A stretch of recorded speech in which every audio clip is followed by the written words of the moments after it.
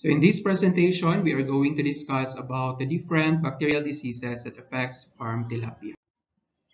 So this uh, presentation was um, presented by Ha Thanh Dong of the Faculty of Science and Technology, Suan Sunandha Rajabhat University, under the FAO, or the Food and Agriculture Organization uh, publication. So he presented the, the different bacterial diseases of farm tilapia. So this is the illustration of the different pathogens that affects farm tilapia. So this was this was uh, from Dr. Marian McLuhan. So as you can see here, majority of the pathogens that affects farm tilapia are bacteria that accounts for about 54.9%, followed by viruses at 22.6%, parasites and fungi. These are the different bacterial diseases in farm tilapia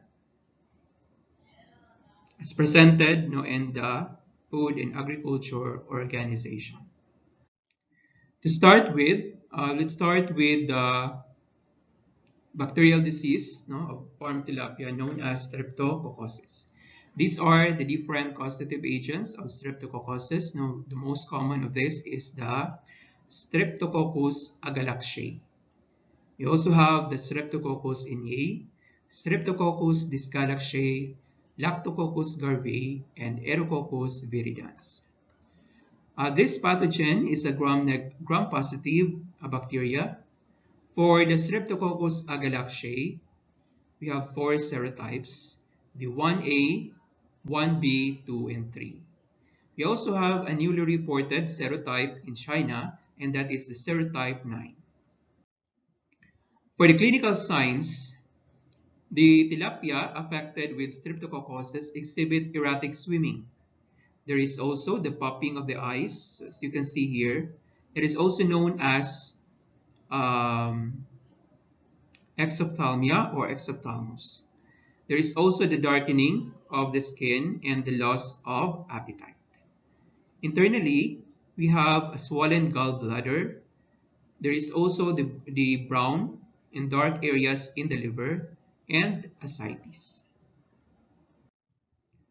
For the diagnostics, the level 2 diagnostics include rapid gram staining of smear tissue. So the tissue of interest are the blood, the kidney, the liver, and the brain. This is a gram staining of a smeared kidney infected with streptococcus. For the le another level 2 diagnostics include histopathology. Uh, so we have here a liver and a pancreas of Nile tilapia that is infected with S. Uh, Streptococcus agalactiae. So we have here the pancreas and we have here the liver. So in the liver, it shows hyperactivation of the melanomacrophage centers with uh, overloaded melanophores. So this is in the pancreas. There is also a severe hepatocyte degeneration and accumulation of melanophores in the liver. So this section here, you know, in this exocrine pancreas shows the proliferation of the melanomacrophage centers in the pancreas or in the exocrine pancreas of the Nile tilapia infected with streptococcus. Another level 2 diagnostics is bacterial culture and biochemical test. So these are the media that can be used for bacterial isolation or bacterial culture. And this is the uh, description of the colonies of the streptococcus in the bacterial culture. For the mortality, the mortality is high. Uh, the mortality rather is variable, but it can reach up to 90%. The streptococcus is worldwide in distribution. The risk factors for the disease include a high temperature, particularly a temperature that ranges from 31 to 33 degrees centigrade and also a poor water quality is a risk factor for streptococcus. For the prevention, this include treating the water with disinfectants, controlling the water temperature, for example, increasing the water level in the pond, supplying more oxygen or increase in the aeration, improving the fish immunity by administration of vitamin C and uh, immunostimulants. There is also a vaccine that is uh, currently available for streptococcus. We have the injectable vaccine by SM, uh, MSD that is uh, used in Thailand. We also have the immersion vaccine that is used in China and the vaccine incorporated with feed for oral route that is used in Malaysia. The next bacterial disease of tilapia is the columnaris. The causative agent of columnaris is the Flavobacterium columnare. It is a gram-negative, long rod-shaped bacterium. It exhibits gliding motility. It forms strong biofilm, and it has two morphotype. We, we have the rhizoid morphotype, which is the pathogenic one, and the non-rhizoid morphotype, which is the non-pathogenic one. So this is the, this, uh, the illustration of our gram-negative Flavobacterium bacteria in bacterial culture. This is also you know, another diagram you know, showing the description of the pathogenic and the non-pathogenic morphotype of Flavobacterium columnare. This is the pathogenic one, the rhizoid morphotype, and this is the non-pathogenic one. For the clinical signs of columnaris, this include the fin rot. as you can see here, the fin, the fin of the fish na exhibit rotting. There is also the necrotic gills now as shown here now in this figure. The gills exhibit necrosis. There is also the necrosis of the muscles. Uh, there is also the presence of the saddleback lesion, as you can see here. The lesion is located at the back of the tilapia. And there is also the pale skin. Diagnostics include wet mounts. So in the wet mount, uh, so this is a, uh, the, this wet mount here is a portion of the saddleback lesion of the tilapia. So the wet mount of the saddleback lesion revealed clumps of long rod-shaped bacteria. Now that is the causative agent of columnaris. For the another level 2 diagnostics is the rapid gram staining of smeared tissue. So the tissue that can be used are the gills and the skin lesion. Another level 2 diagnostics is the histopathology. This is a, a rapid gram staining of the smear tissue of tilapia that is uh, infected with columnaris disease.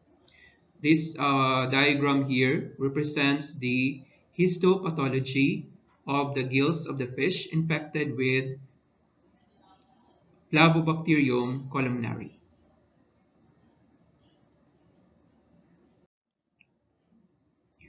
Level 3 diagnostics include specific PCR for either tissue or the pure isolate of the bacteria.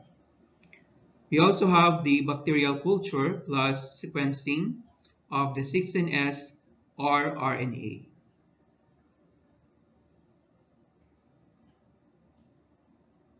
So this uh, diagram here refers to the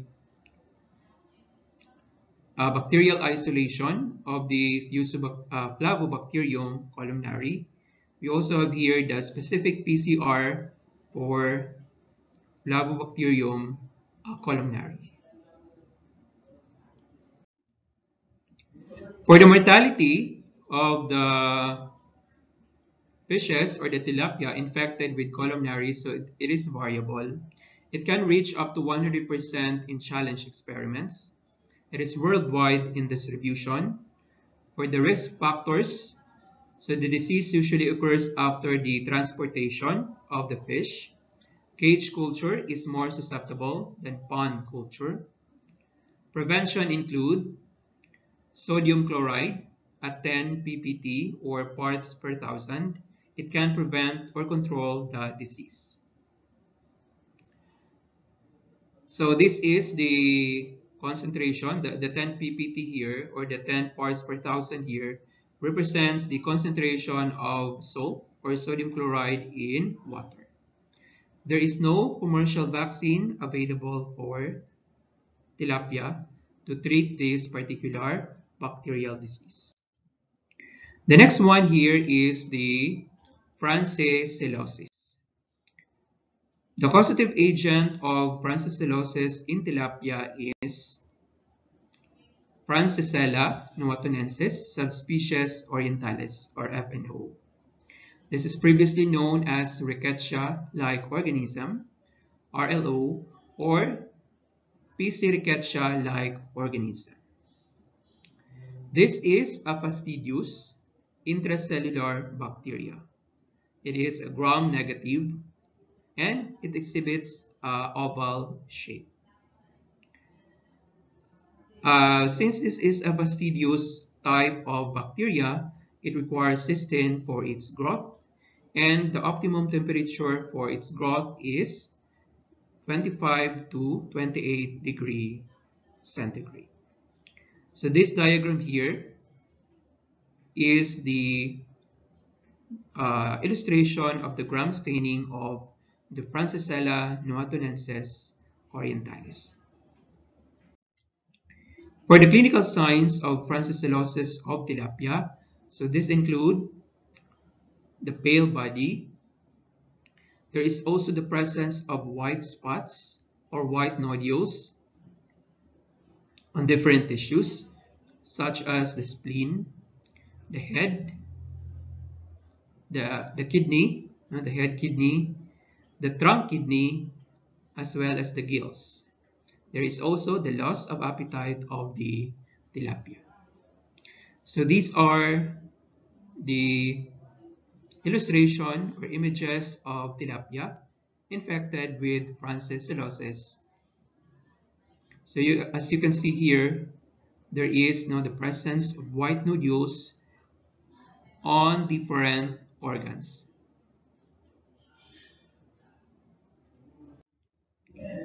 For the level 2 diagnostics of francisellosis, this include the wet mount. The wet mount that is uh, that uses the spleen and the gills as a specimen. We also have the rapid staining. So this one here represents the wet mount of a fish that is infected with tilapia, uh, that, that is infected with francisellosis and the normal fish.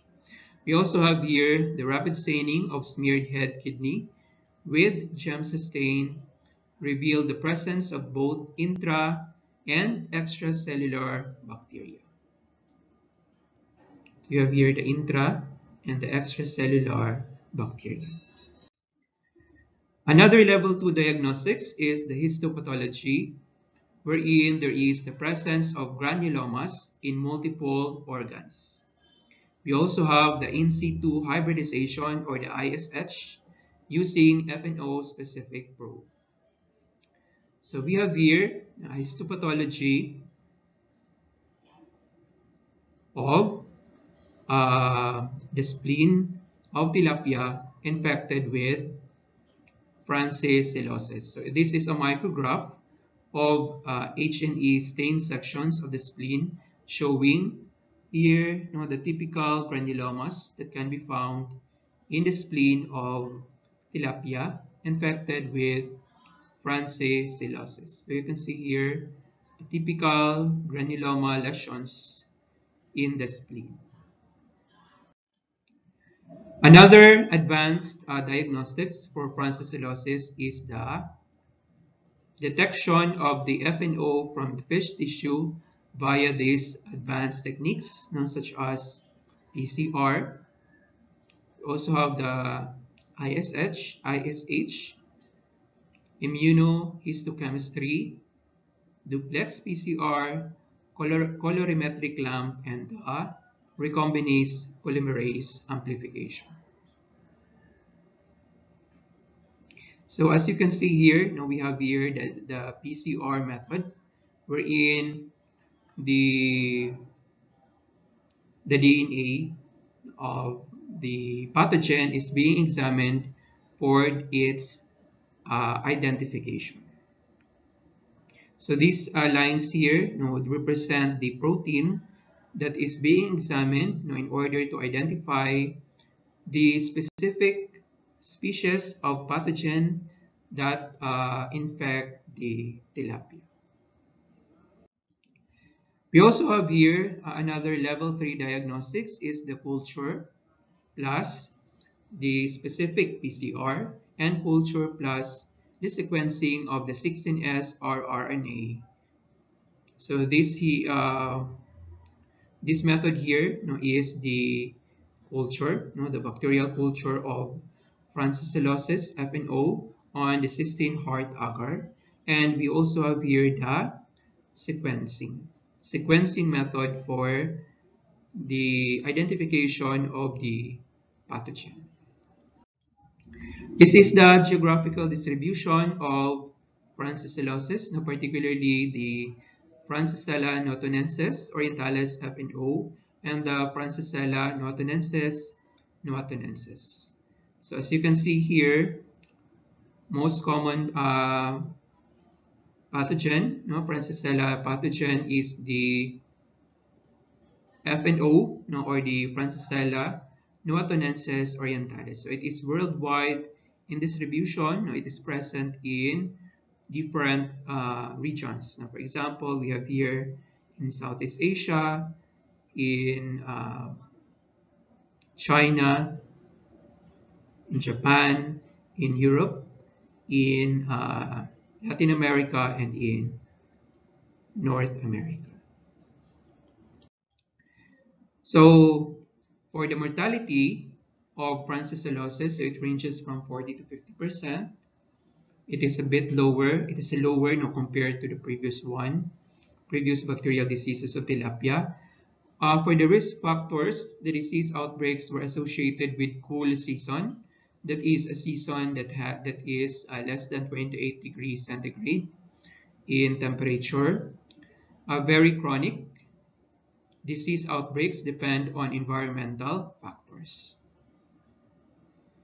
For the prevention, and treatment of the disease. So for those that are engaged in tilapia farming, so it is important to use FNO-free fish. Antibiotics have also been used for the treatment. Temperature uh, that is, uh, it should be more than 30, 30 degrees centigrade, you because again, one of the risk factor is the cool season. Commercial vaccine is not available for this uh, bacterial disease. Another bacterial disease of tilapia is the Edward Edwardsiellosis. The causative agent of this is the Edwardsiella ictaluri, Tarda, Anguillarum, and Piscida. So this is a pinpoint uh, in culture media the Edwardsiella exhibit pinpoint colonies. In terms of their shape, you know, this is a uh, rod shape and it is a gram-negative bacteria. Uh, biochemically, it is uh, oxidase negative. So aside from tilapia, Edwardsiellosis, particularly the Edwardsiella ictaluri, is also common in catfish. It is, it is not really common in non-catfish and does not kill tilapia in striped catfish ponds. according no, to the personal observation of uh, author. In 2012, the first report of Edwardsiella ictaluri was uh, reported or was recorded in uh, Nile tilapia in the Western Hemisphere. We also have here the recent cases of Edwardsiellosis in Southeast Asia. So this was reported in red tilapia juveniles. It killed about 40 to 50% of the fish in the first month after stocking, and the presence of white spots in multiple organs are the manifestations. So the presumptive diagnosis is based on the clinical signs, that is a level 1 diagnostics, no? the presence of the clinical signs. So as you can see here, there is the presence of white spots in multiple organs. We also have the diagnostics is the uh, use of PCR. Another level 2 diagnostics is the use of gram staining tissue, uh, gram staining. So gram stained tissue smear revealed numerous gram negative rod-shaped bacteria.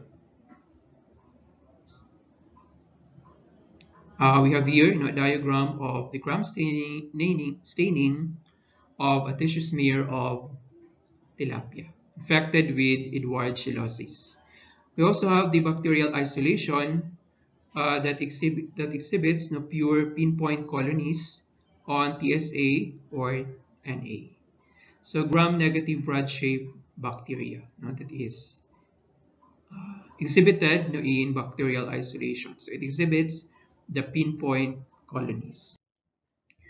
Another uh, more advanced diagnostics is to PCR. So this is this is considered to be uh, confirmatory diagnostics, know, the use of specific PCR and the sequencing of the RNA.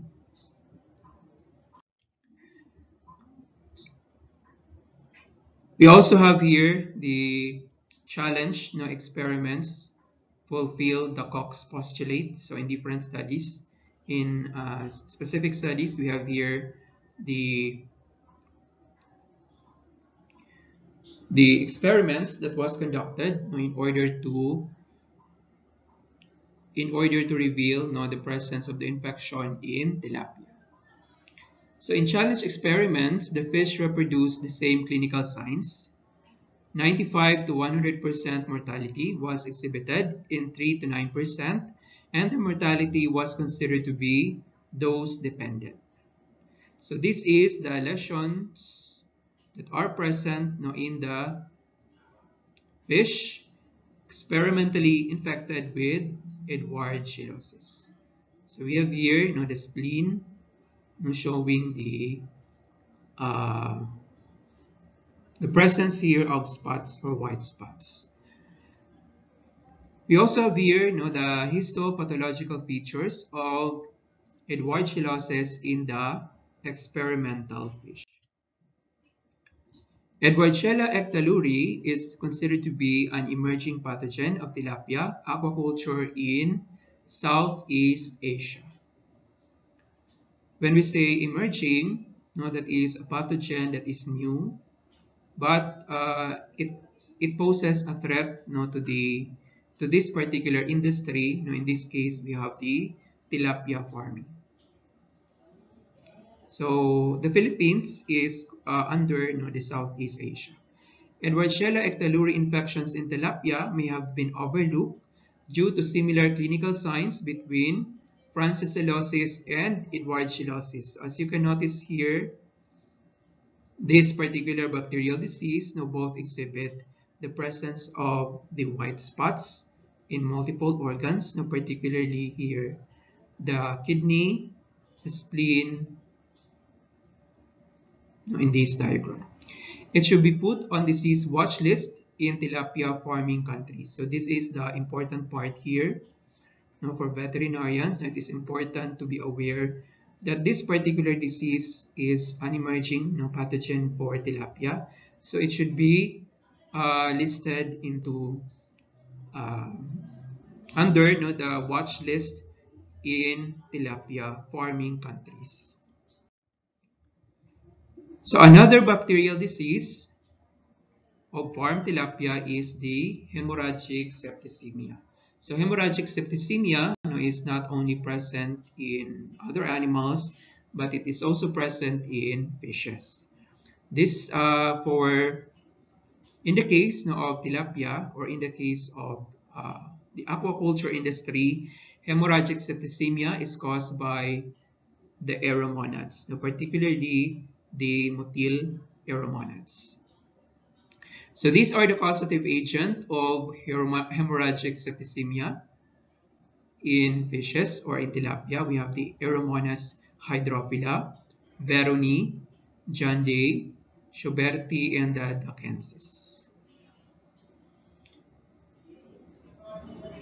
Aeromonads or Aeromonas are gram-negative bacteria. They are rod or oval shape. they are non-spore forming and they are oxidase and catalase positive. This is the gram staining of the Aeromonas species. These are the clinical signs of hemorrhagic septicemia in fish, no, particularly in tilapia.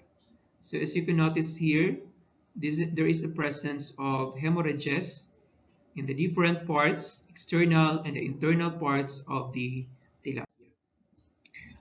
For the diagnostics, uh, this include um, histopathology and the bacterial culture plus the biochemical test. So these are you know, the biochemical test. Now in these, these are the histopathologic sections of the fish. Now it's infected with hemorrhagic septicemia.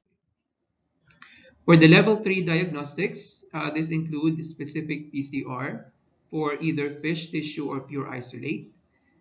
Misidentification is common in Aeromonas group. Bacterial culture is also one under this, plus sequencing of the 16S rRNA or MLST. Another bacterial disease of farm tilapia is the red egg disease or the Hahellosis. Hahellosis or the red egg disease is caused by Hahella chejuensis. It is a gram-negative bacteria. It is a rod-shaped bacteria and it exhibits, it is uh, red pigmented no, in uh, description. It is considered to be a marine bacterium. For the level 1 diagnostics, now this is the illustration or the image of the eggs of the fish or the tilapia infected with the Hahellosis. So this is here is the normal eggs. This one here is the eggs of the, the fish infected with the Hahellosis. So you can see here the presence of the red eggs. Another level 2 diagnostics is the uh, performing histology or uh, histopathology and the bacterial isolation. So this is the bacterial isolation using the TSA and uh, we have here the histopathology of uh, red egg no, versus the normal egg. So this is a semi-thin section stained with toluidine blue. Level 3 diagnostics include sequencing and uh, PCR. For the geographical distribution, uh, in the year 2010, or the, the Hahellosis or the red egg disease is reported no, in tilapia hatcheries in Thailand no, since the year 2010. It is uh, recently found in the rabbit fish in Vietnam, but this is unreported. For the mortality, mortality is uh, about 10 to 50%. And these are the risk factors. This occurs during the cold season, particularly a temperature of less than 24%. This also occurred in hatcheries using 7 ppt um, sodium chloride water. So this is a 7 ppt here refers to the concentration of salt in the water. For the disease control, it is important to reduce the salinity no, from 7 ppt to 4 ppt. Exposed sand from the filter system to sunlight.